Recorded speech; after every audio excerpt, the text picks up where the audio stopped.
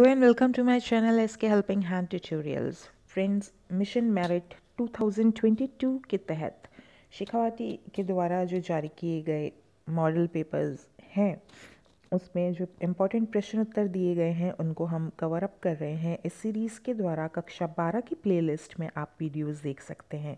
तो आज हम लेसन थर्ड द एनिमी और लेसन फोर के प्रश्न उत्तर देखेंगे।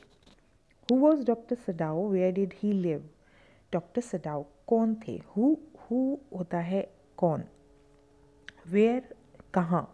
कहाँ पे वो रहते थे? Doctor Sadao was a Japanese surgeon कौन सी कंट्री के थे वो? जापानीज थे और सर्जन थे। तो सर्जन की स्पेलिंग आप याद कीजिएगा। He live in a house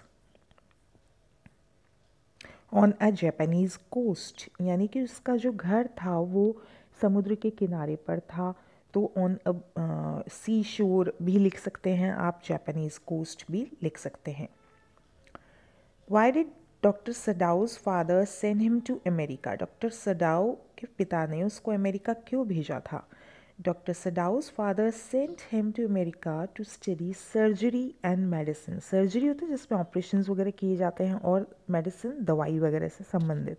तो यानी डॉक्टरी की पढ़ाई करने के लिए उसे वहाँ पे भेजा गया था। When did doctor Sadao meet Hana for the first time Hana से मीट मीट मतलब यहाँ पे है मिलना। कब मिले थे? प्रथम बार।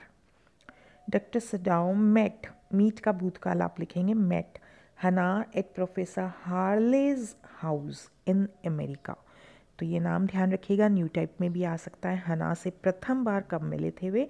हार्लेज के घर पे मिले थे। और हार्ले कौन थे? उनके प्रोफेसर थे। What was doctor Sadao's achievement as a doctor achievement होता है उपलब्धि। डॉक्टर सडाउ की उपलब्धि क्या थी? डॉक्टर के रूप में why was doctor Sadao not sent abroad with the troops troops जो सेना के व्यक्ति हैं, उनके साथ क्यों नहीं भेजा गया था उसे भी बाहर? Doctor Sadao was working on a discovery which would render wounds entirely clean क्योंकि वे अपनी एक खोज कर रहे थे जिसमें कि जो वूंड्स हैं, वो घाव हैं, वो पूरी तरीके से साफ़ हो जाएँगे उसकी सहायता से। तो इसीलिए उनका काम डिस्टर्ब नहीं हो, इसलिए उन्हें नहीं भेजा गया था। तो आपको ये शब्द ध्यान रखने हैं working on a discovery which would render wounds wounds का अर्थ होता है घाव एंटायरली क्लीन पूरी तरीके से उसे साफ़ कर देंगे। In what condition did Dr. Sadao and Hana find the American soldier at the seashore? In what condition? यानी किस स्थिति में उन्हें वह व्यक्ति मिला जो कि सी शोर पर पाया गया था वो अमेरिकन सोल्जर था कौन था अमेरिकन सोल्जर था the American soldier was badly wounded badly बुरी तरीके से वोंडेड घायल था doctor Sadao found a gun wound of his lower back यहाँ पे ऑफ़ की जगह आप एट लिखेगा एट हिज लोअर बैक और उसके जो लोअर बैक थी, पीछे, नीचे की पीठ थी तो वहाँ पर उस पर गन थी, यानी कि बंदूक भी चली हुई थी, गोली चली हुई थी। गोली का घाव था। What was doctor Sadao's father chief concern doctor Sadao के पिता की मुख्य चिंता क्या थी? His father's chief concern was Sadao's education तो सडाउ की शिक्षा ही उनका मुख्य चिंता थी। Why did Hana watch the enemy soldier Hana ने क्यों एनिमी सोल्जर को धोया? हना आस्ट हर गवर्नेंस उन्होंने अपनी जो यहाँ पे आया के काम करती थी, उससे कहा यू मी टू वॉश यहाँ पे आप कोमा लगाना है। Yumi to wash the enemy soldiers enemy soldier but she refuse to do so तो कुछ एक स्पेलिंग मिस्टेक्स यहाँ पे प्रिंटिंग की हैं। आप इसे सुधारते जाइएगा। Hana asked her governess Yumi to watch the enemy soldier but she refuse to do so जब हम मना करते हैं तो उससे होते हैं रिफ्यूज़ कर देना, मना कर देना. तो यूमी ने मना कर दिया। Hana had to do it herself इसलिए हना को हर सेल्फ यानी स्वयं से ये करना पड़ा।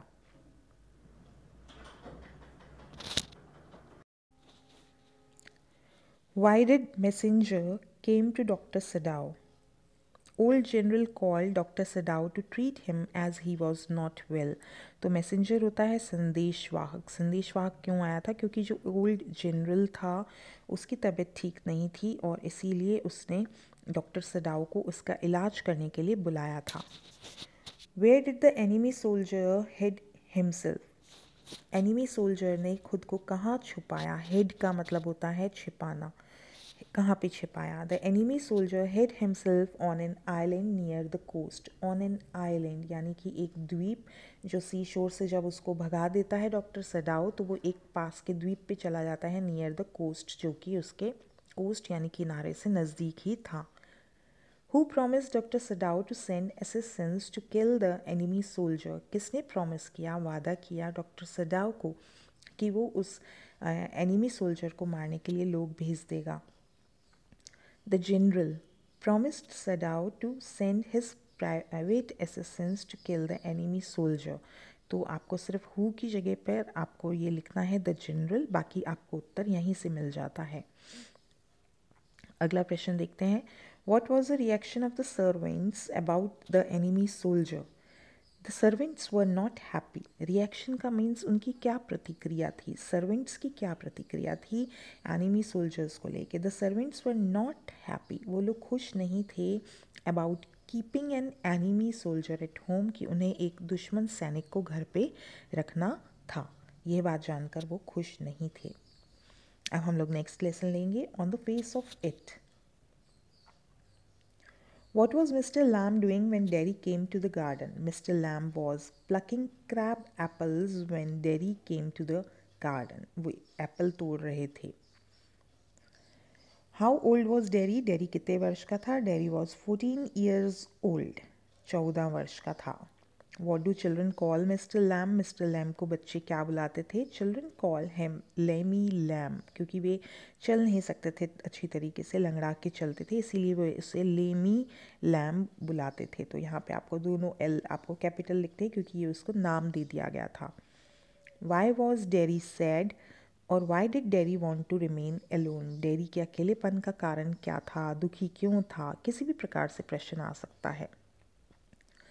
तो आपको मालूम होना चाहिए कि डेरी का जो चेहरा था, वो जल गया था क्योंकि एसिड गिर गया था। और उसे लगता था कि कोई भी उससे प्यार नहीं करता, उससे दोस्ती नहीं करना चाहता। वो उसके अंदर एक इन्फीरियरिटी कॉम्प्लेक्स आ गया था। ये शब्द आप ध्यान में रखेंगे। इन्फीरियरिटी कॉम्प्लेक्स यानी कि हीन भावना से ग्रसित हो गया था, ग्रसित हो जाना सफरिंग फ्रॉम ठीक है? तो ये आपको शब्द ध्यान में रखने हैं। फेस वॉज़ बर्नड अप, उसका चेहरा जल चुका था क्योंकि एसिड गिरा था। So he thought that nobody like him उसे कोई पसंद नहीं करता है। He was suffering from inferiority complex और वो हीन भावना से ग्रसित था। अगला प्रश्न देखेंगे how did the man who remain in his room died at the end उस व्यक्ति की मृत्यु कैसे हुई जो अपने कमरे में था? A photograph fell on his head and he died उसकी फेस पर, सिर पर एक फोटोग्राफ गिर गई और उसकी मृत्यु हो गई। How did Derry burn his face उसका चेहरा कैसे जल गया था? Derry's face was burn by acid acid से गिर गया था। एसिड गिर गया था, इसलिए उसका चेहरा जल गया था। What change we see in Derry's attitude at the end of the play Derry के व्यवहार में इस नाटक के अंत में क्या परिवर्तन आता है? चेंज का अर्थ है परिवर्तन। और डेरी के व्यवहार एटीट्यूड यानी कि व्यवहार में क्या परिवर्तन आया? तो डेरी जो था, वो खुद पर दया करता रहता था, अकेला रहता था, लोगों से मिलता नहीं था और उसे लगता था कि कोई मुझे चाहता नहीं है। Derry left the habit of self pity उसने खुद के ऊपर दया करना छोड़ दिया। लेफ़्ट लेफ़्ट माने कि छोड़ देना। हैबिट आदत सेल्फ पिटी खुद पर दया करना। left the habit of self pity. He began to